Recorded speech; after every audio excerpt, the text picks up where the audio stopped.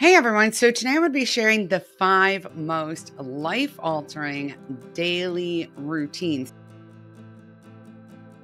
Now, listen, a couple of these you've surely heard of, and I've talked about them before as well. But I need you to know that routines throughout our day create a lot of space for us to avoid decision fatigue um, and overwhelm and to automate some things. But it's not just that, they help us transition from one part of our day into another. Now, before I start talking about these routines, I want to make sure that everyone knows that these routines are for everyone. And I'll be offering some modifications based on whether you work from home or you're a stay at home parent or maybe you're retired and how you may want to transition some of these routines to work in your own life. But outside of morning and bedtime routines, there are a few others that we all need to be incorporating into our lives to make our lives go a little bit smoother, a little bit easier, reduce our stress and overwhelm, and free up some of the time and energy and mind space we need for the things we love and that matter most to us. Now, if you're new here, my name is Cassie Feld, and this is Upcycled Adulting, where we help you upcycle your real life into your best life by creating healthy habits, overcoming obstacles, and growing to accomplish your goals. Now, I struggle to create routines and habits for almost my entire life. Um, and once I started really nailing down how to create routines, it was really life altering. If you need some help to create habits or create routines, be sure to check my library. I have tons of content giving you some great, simple tips. Um, to help you start incorporating this into your life, even if you have always struggled with habit and routine creation. So let's get started talking about these five life altering habits. Number one is the AM routine. It's your morning routine or your wake up routine, whatever you like to call it. If you haven't checked it out yet, I have several pieces of content about creating a really amazing morning routine. And I also have an additional supporting content piece about how to do it if you're a night owl because it's a little different. I know. I am a night owl. But basically, having a set of things that you do when you first wake up in the morning that help kick your day off well and help you transition into the busyness of your day is really, really beneficial. Now, these might be simple things like just washing your face and brushing your teeth. Maybe you make your bed, do a workout, whatever it is that fits in your life. It's really important to be aware that your routines don't have to be one hour long, super complicated things to be considered a routine. Some of my routines take 10 to 15 minutes, and that works for me and it may work for you as well. But just creating that set of things that you do automatically to help you move into the next part of your day is really, really beneficial. And that starts as soon as you wake up in the morning. The second routine is the starting work routine or starting the effort of your day routine. So, whether you're a stay at home parent or you're retired or you work in the home or out of the home, transitioning from a space of your morning mellow time or your morning routine time or your morning chaos into the start of productive um, mindful work for your day is really, really important. Now, I have always worked from home, and I've seen a lot of people talking about the work from home challenge with how do you actually get going in your day? How do you divide what you're doing for work and what you're doing for home? And by the way, this is also true if you're a stay at home parent, because I think it's really important to create a very specific intentional part of your day where you say, This is my job for the day, and an intentional part of your day where you say, and now I'm not 100% holding this bag, and you share some of that responsibility. When you start work, it can be very helpful to start with a commute that helps transition your mind. That may be listening to a podcast, that might be listening to an audiobook, something geared toward your work life to help you transition in there. Um, and if you work from home, it can be really helpful to leave your house and go for a walk to the end of the block and come home. To create a faux commute because there's something about that that helps you check into your office and out of your house rather than feeling like you're home all day and so it all just starts to blend together, right? So it's important that we give ourselves those breaks. I like to include things about starting my workday, like checking my email and checking my schedule. So my start of workday is pretty simple.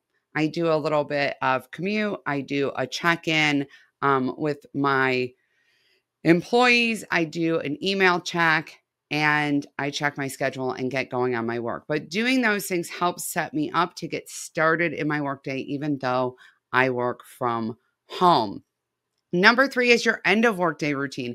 And this is a similar thing. This book ends your workday. So, what you want to do is, again, you can do that little commute that you did in the morning, and you're going to set yourself up to transition back home. So, maybe in your commute home, you're listening to some of your favorite music, or you are stopping for a home errand, or you're doing something related to your home life. All right. Now, if you work from home or if you are a stay at home parent, this is a space where I highly recommend that you transition into your home life by doing something a little bit relaxing to you, something that gives you a moment to come up for air and to separate your evening and home life from your workday.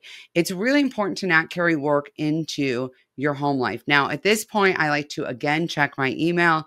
I like to go ahead and recheck my schedule. I move work items um, to the next day or later in the week if I didn't get them completed. And I wrap everything up for work, put it all away. I close the laptop. I do the whole thing. Now, listen, y'all, I don't generally close all the tabs on my laptop. It's okay um, if you don't do that either, but I do make sure I don't have more than like 10 open um, so I don't get overwhelmed in the morning because I tend to be a little bit um, a little bit slow with the tech and I get overwhelmed easily with tech. So I try to get some of them bookmarked and closed and all that good stuff.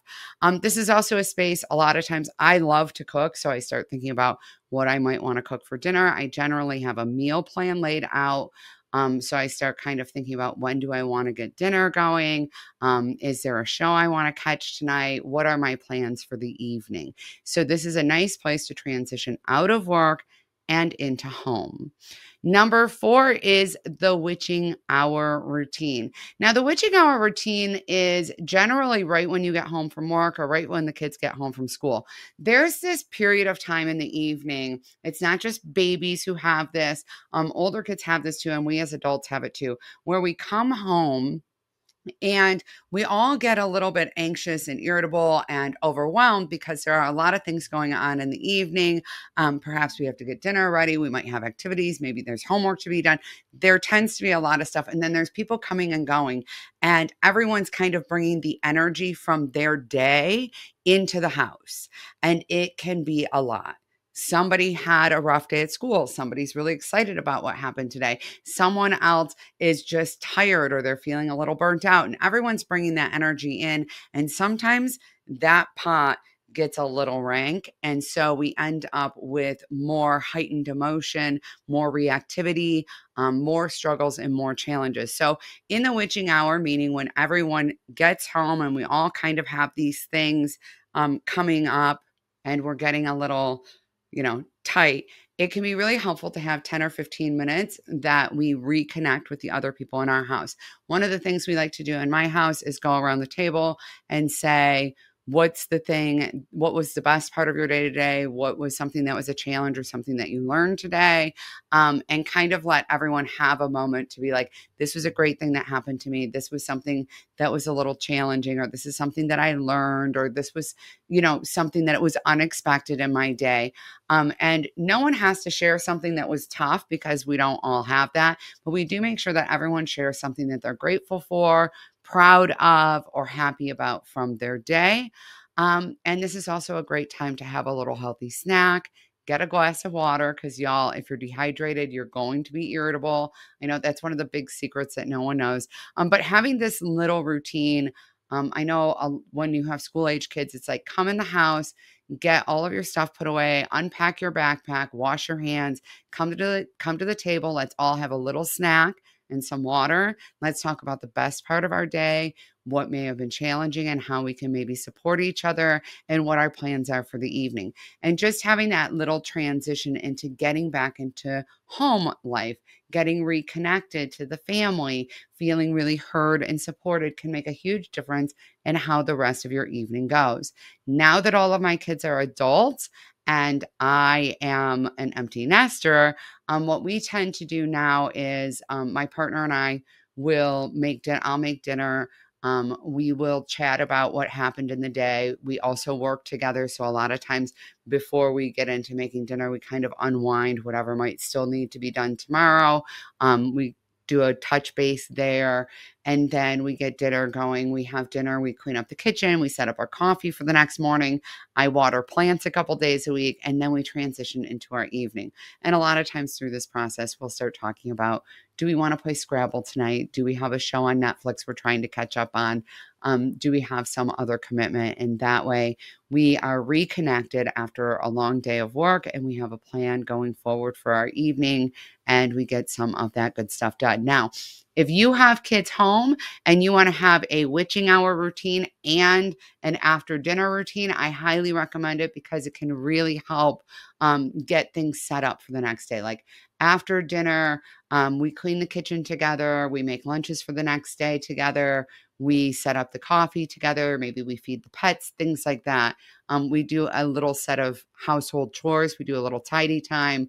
Um, maybe kids do homework while grown-ups are getting some of this other stuff done um, but that way we actually have a little structure to checking things off the list and i have to tell you that this makes it a lot easier it kind of trains your brain to know what's coming next and to be ready to do that homework or to be ready to take on that next thing um, it automates these things it makes them take less time and less mental energy. And that keeps everyone in a much better mood um, and gets everything done with a lot less stress and overwhelm. And then number five is, of course, the bedtime routine. Listen, bedtime routines, in my opinion, are the most important routines of the day. Now, just recently, I was on social media and someone was asking about their child who gets bored with the bedtime routine and then um, starts to become resistant to it and gets rowdy with it. Now, listen, if you have a child like this, please listen to me when I tell you this. The bedtime routine doesn't have to be exactly the same every night. So you could have different components. And by the way, let me know in the comments if you want me to do a video about this in particular, but you can have different components that represent the same things in the bedtime routine, meaning you want your child to brush their teeth and wash their face. One night they do a teeth brushing race. The next night, they do a different toothbrushing game. Then they do wash the face first, then brush the teeth, brush the teeth first, then wash the face. Different things like that to kind of mix it up and make it still interesting for kids can be really helpful. This is particularly true if you have children who have, for example, ADHD or they just struggle a little bit with um, they get that you know that boredom fatigue, right? We get decision fatigue. Sometimes kids get some boredom fatigue. You can have um, different activities that you might do in the evening. Like one evening, you tell each other stories. One evening, you read a book. One evening.